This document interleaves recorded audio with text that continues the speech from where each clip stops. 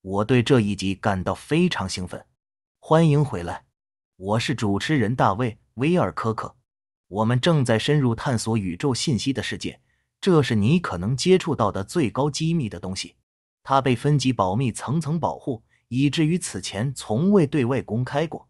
如果你一直在追踪我们的叙述，并观看之前的几集，你已经看到了非常令人难以置信的内容。我们讨论了早在一九二零年代到一九三零年代，德国秘密社团就与两个不同的智慧文明建立了外交和政治关系。其中一个叫德拉科，是由类似爬虫类外表的类人组成的联合体；另一个是阿加森人，他们看起来像北欧人，也就是说蓝眼睛、金发，身高与我们相近，甚至可能更高一些。他们宣称自己并非来自这个世界。但实际上，如你所透露的，他们其实是起源于地球，因为一些灾难性事件而被迫移居到地下。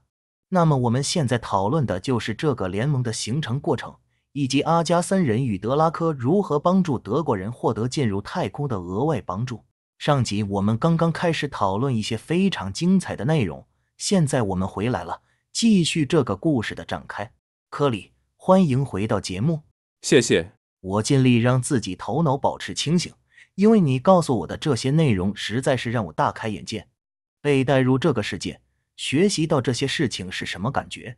如果你走在社会上，知道这一切，看到有人认为我们在宇宙中是孤独的，认为这就是一切，没有来世、没有灵魂之类的想法，生活在这样的世界中是什么感觉？你会习惯的。你看到人们抬头看着月亮，而我也看着月亮。却完全与别人不一样，你会逐渐习惯这种感觉。我们在讨论我们的太空计划是如何发展的历史，而阿加森人这个话题真的很引人入胜，他似乎能将许多点连在一起。当格雷厄姆·汉考克写《神的指纹》时，他的假设是有这些金发、蓝眼睛、像雅利安人的人乘船来到世界各地的土著文化中，自称为神，教他们如何建造水轮，然后用水轮磨谷物。如何进行冶金、数学和天文学？你认为阿加森人与重建我们的社会有很大关系吗？尤其是在某种灾难之后？是的，是的，那些古代分离文明确实参与其中。此外，还有其他文明也做了同样的事情。所以你说这些阿加森人对德国人更友善，因为他们看起来更像自己，这也是他们获得优等种族概念的原因。你认为是这样吗？要么德国人先有。要么阿加森人也倾向于优等种族的概念，所以更亲近德国人。我不清楚究竟是哪一种先出现的。那么，阿加森人是否与德国人一起驾驶他们的中型飞船？实际上，中只是飞船的引擎组件，或是造成电重力场的部分。飞船实际上更大，一开始是蝶形的。在你看到的文件中，这些飞船叫什么名字？当美国人真正得到后，他们称其为 ARV 外星复制飞行器。好，回到我的问题，因为如果你不回答这个问题，观众可能会觉得疑惑：阿加森人是否与德国人一起乘坐这些飞船？是的，他们通常是被监督的，而不是单独行动。在一开始是这样的。你估计阿加森人的人口规模有多大？大概是一万人、十万人，还是更大？我不清楚，但我知道它非常庞大。因为它是一个网络，这是一个地下城市的网络，在喜马拉雅山脉的城市最接近地表，似乎他们主要是通过那里进出地表的。喂，所以阿加森人将德国人引领到南极冰层下的这个废墟区域，你说那里有一些地下开发以及地表上的开发？对的，我们是在谈论像地下室一样的空间吗？那么他们在那里有多大的地下基础设施？基本上，它和古代文明建造的。地下洞穴结构类似，那么规模相当庞大。是的，是有多个层次向下延伸的吗？对，就像我之前给你描述的那样，越往下，你会发现地球深处的洞穴结构就像蜂巢一样。让我们暂时跳转到这个话题，因为很多人可能会难以理解。从传统科学的角度来看，认为越往地下，温度就会逐渐上升，所以这些人不会因为地热而被烧死吗？在某些区域和深度确实是那样的，然而超过某些区域和深度后，这种情况就会逆转，实际上会产生一种冷却效果。对，随着深入地下，压力和热度会先逐渐增加，然后反向降低。你认为地球深处的这些区域有植物，甚至有独立演化的动植物生态系统？你认为这是否是智慧设计的证据？这似乎像是地球被设计成可以同时支持地表和地下的智能生命，地下的生命更高级且可以严密的监督地表生活。生命会在任何可以生存的地方萌生。你是说，即便是一个完整生态系统那样复杂的形式？对，甚至在星际空间中也是如此。对，我们之前谈到过太阳守望者计划的研究，他们分析了这些星际等离子生物。好，让我们继续讲述德国人如何前往月球的过程。上次我们简要提到过一些，你还提到超级联盟会议有二十二个基因计划在地球上进行，其中一部分涉及基因物质的共享和拼接。你还提到，我们被编程成寻找和崇拜像神一样的存有，把自己的权利转移给大师、领袖和政治家，对吗？对的。而你提到这个超级联盟中有四十个主要成员，对吧？大约四十到六十个。他们派来这些会议的代表都是同一批人，还是会轮换？通常是同样的外星代表，地球代表会轮换。科里。我们可能需要整集节目来探讨月球和火星的建设过程，但对观众来说很难理解德国是如何从第一次和第二次世界大战中的主要工业强国迅速被击垮的。在二战之后，德国不得不支付巨额重建和赔偿，基本上让他们的经济破产，就像一战后导致了魏玛共和国的恶性通货膨胀一样。德国似乎被彻底压垮了，几乎一无所有。在这个时候。德国已经被德国分离文明抛弃了，真的吗？什么时候开始发生这种情况的？在战争结束之前就已经开始发生了。他们看到了局势的发展，知道战争会变得不利，他们明白这一点，所以正如我们之前讨论的那样，他们开始在南美洲、巴西和南极创建飞地。这都是为了应对他们的失败而做的准备吗？如果他们输了，他们打算做什么？他们只是想继续他们的分离文明，继续前行。把普通人都抛在后面。发展分离文明的机制是否是一个独立的部门，与实际上打仗的政府机构不同？是的，到这个时候，他们已经完全独立了。真的吗？我认为这是一个广为误解的概念。是的，实际上，在回形针行动中，美国获得了比宣称的数量更多的科学家。对于那些不清楚回形针行动的人，你介绍下。回形针行动是一项协议。通过它，我们获得了德国的科学家和高度先进的技术。这些人据说在技术上比我们超前了二十到三十年。我们把他们带进来，战后将这些德国科学家投入到我们的新兴太空计划和基础设施中，并赋予他们相当大的权利，因为他们被证明是非常有价值的资产。我们怎么会信任他们呢？他们让我们赚了钱，听起来不是一个好主意。是的，确实不是好主意。所以在一九四七年。我们的情报机构发现，分离的德国组织在南美洲和南极建立了飞地。我们知道，在南极有一个非常大的军事基地，所以国防部决定派遣一支庞大的舰队，由伯德上将指挥。这被称为“跳高行动”。很多人对这个行动的名字很熟悉，我不记得确切的数字，但这是一支战争舰队：战列舰、驱逐舰、战列舰、驱逐舰、航空母舰、潜艇。所有的都包括在内，但这是二战之后的事，对吗？你说的是一九四七年？是的，一九四七年，他们一直航行到南极，结果遇到了他们没有预料到的高度先进的技术。那些从水下和南极大陆飞出来的先进飞行器击落了他们的飞机，给几个驱逐舰造成了重大损害，有人失去了生命。他们真的被打得落花流水。是用火箭或机枪击落的吗？是用先进的武器，某种能量武器。哇，这些武器的破坏力有多大？一旦开火会发生什么？足够摧毁目标。他们被迫撤退返回，并且博德上将向国防部、总统和参谋长联席会议做了内部报告，描述了他遇到的情况。他的日志、舰长日志至今仍然被锁起来。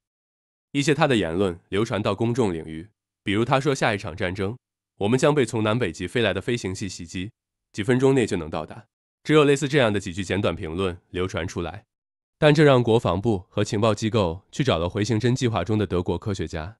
等一下，我是个书迷，读过三百多本关于亚特兰蒂斯之类的书。他们说，伯德上将看到了平坦的地球，有猛犸象和原始人。那是后来出来的一堆东西，和他执行的实际任务没有关系。那是虚假信息吗？是被故意散布的虚假信息吗？要么是虚假信息，要么是某人丰富的想象力。我不确定是哪种情况。好的，但他们最终联系上了一些回形针计划中的德国科学家，并询问此事。部分科学家坦白承认，确实知道这个组织。于是，美国政府和情报机构询问他们，能否让我们与这个组织联系上。这些科学家开始在美国人和这个分离的德国组织之间建立对话。我相信当时是杜鲁门。他们是通过无线电通信，还是某种加密通信？一开始是无线电通信。他们安排了杜鲁门和这个分离组织的会面。不是开玩笑的吧？这个分离组织开始提出一些非常苛刻的要求，杜鲁门并不喜欢。所以，如果跳高行动是在一九四七年，我们现在谈的是哪个时间点？就在那之后。真的吗？是的。之后，局势一度紧张。分离的德国文明通过回形针中的德国人得知，在罗斯威尔事件和其他几次外星飞船坠毁事件后，美国制定了一项政策：外星人存在的事实以及某些技术的存在被列为最高机密，甚至比核武器还要机密。这是因为他们认为披露这些信息会毁掉社会，这是他们的理由。因此，在南极的德国分离组织利用这一点。开始对美国进行飞行行动，其中包括1952年两次飞越华盛顿特区的事件，相隔两周。我一直以为那是外星人，他们直接飞过了国会大厦。那是德国分离组织，这是他们在向美国传递信息，要求签署协议，否则就会揭露一切。他们知道这是美国最害怕的事，美国不希望人民知道这些事，否则他们会失去对石油的控制，这意味着失去收入，经济崩溃。还会失去政治信誉，所以这就是他们无法拒绝的条件。是的，这一切发生在杜鲁门末期和艾森豪威尔上任初期。此时，美国总统仍然对军队和他们的行动有最终的决定权吗？是的，他仍然掌握了相当大的权力。艾森豪威尔和杜鲁门都与这个组织签署了条约，这导致德国分离组织来到美国。现在，两个组织各自有其计划。美国的计划是，当德国分离组织到达这里时，我们会渗透他们，获取他们的技术，找到战胜他们的方法。用委婉的语言来说，就是要成为最终的赢家。德国分离组织的计划完全相同，他们希望在深空或我们太阳系内建设基础设施。谁能比美国更适合这个任务呢？因为我们用工业力量击败了他们，这就是击败他们的原因。我们制造了更多的坦克，更多的炸弹，是这种消耗战让他们输掉了战争。这个德国组织带走了黄金吗？他们有可以用来激活劳动力来源的资金吗？是的，他们带走了很多黄金和掠夺物。但他们需要工人，需要真正的工业基础设施。他们需要工业基础设施，也需要接触到我们的公司。这些公司会签发支票，制定商业计划，帮助他们建设基础设施。最终，他们赢得了谁先渗透谁的竞争。他们彻底渗透了军事工业复合体。彻底渗透。彻底的，这是一个非常有挑衅性的说法。你如何定义彻底渗透？他们已经通过回形针行动的德国科学家占据了很好的立足点。当他们带着所有这些高科技出现时，那些贪婪的富商并不在乎他们是谁，也不在乎他们是德国分离组织的成员，不在乎他们肩上的徽章是什么。这些银行家和大公司高管们只想着赚钱，他们想要最好的玩具。没错。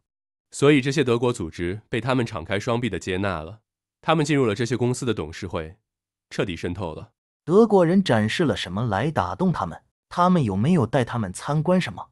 比如南极的设施？没有，他们交出了一些二飞船，让我们进行逆向工程，同时仍在利用我们。而这正是艾森豪威尔告别演讲中提到的军事工业复合体的根源。他警告关于军事工业复合体不当的权力和影响力的崛起。是的。到五十年代末、六十年代初，他们也完全渗透了情报机构。在那之后，他们基本上接管了美国政府。这太让人震惊了。确实是。我想，每个人，尤其是那些热爱体育的人，都希望站在胜利者的一方。如果你在一个失败的团队中，你会觉得自己失败了。我觉得你会遇到很多阻力，因为人们不想认为自己失败了。他们想要相信上帝和国家、家庭和美好的生活。门前的白色篱笆，车道上的 SUV，还有二到五个孩子。你说的内容完全颠覆了我们对美国的认知。这就是高层正在发生的事情。对于下层人来说，我们仍然保留着这种幻象。我们仍然有白色的栅栏和车道上的 SUV，所以我们维持了这种幻想。美国军队中是否仍然有一些人相信他们宣誓效忠的宪法？绝对有的。是的。所以，如果国防承包商与德国人达成协议，这可能会引起一些问题，并不是每个人都会愿意完全服从德国。是的，我们可以稍后深入探讨政府内部、地球联盟中的争论以及正在发生的事情。德国人一旦牢牢控制了美国的基础设施，那就是太空和秘密太空计划大规模建设的开始。他们开始与一直合作的美国阴谋集团共同工作，甚至在一战和二战期间，他们也在合作。所以就在那时，他们开始认真建立秘密太空计划及其庞大的基础设施。你提到一九四七年的跳高行动，然后杜鲁门开始与他们接触，谈判开始了，但进展不顺利。然后德国人加大了力度。制造了非常明显的公共 UFO 目击事件。如果这件事发生在现在，每个人都有手机摄像头，UFO 的掩盖将会终结。就在美国的首都，在美国政府大楼的上空。你说这是一九五二年，时间线是什么样的？给我们描述一下。这种飞跃之后，他们立刻投降了吗？这是最后一根稻草吗？这是压垮骆驼的最后一根稻草。总统顾问们说。好吧，我们需要签署一项条约。我们签署条约后，还会制定一个计划，以便渗透他们，窃取他们的技术，并在以后对付他们。我们不会从弱势地位进行交易。这基本上将我们带到了他们开始建设秘密太空计划的主要基础设施的阶段。显然，这需要人力。他们是如何获得人手的？这也是另一个让人难以理解的事情。我们只有几分钟时间了。这让我们谈到了很多人听说过的人才流失。他在五十年代、六十年代一直持续到八十年代，许多世界顶尖科学家被接洽并受邀加入这些计划。突然之间，地球上消失了大量的杰出科学家。你说很多科学家和杰出人才，人才流失指的是什么？在很长一段时间内，有数百万人在智力上表现出色，被认为能为不断扩展的太空计划做出贡献。他们被吸收进来，成为其中的一员。我的线人皮特·彼得森，一个资深人士说，人才流失有五千万到六千万人，确实很多。这些人到了适龄时，是否被要求快速生育？是的，他们被告知要多子多福。所以，如果六千万人到了生育年龄后生孩子，你可能会看到一个像美国总人口甚至更多的群体。没错。哇，我们会继续深入探索，了解更多的情况。他们是如何将这些人送入太空的？他们被告知了什么？还有很多内容即将呈现，所以感谢大家的观看，敬请期待下集。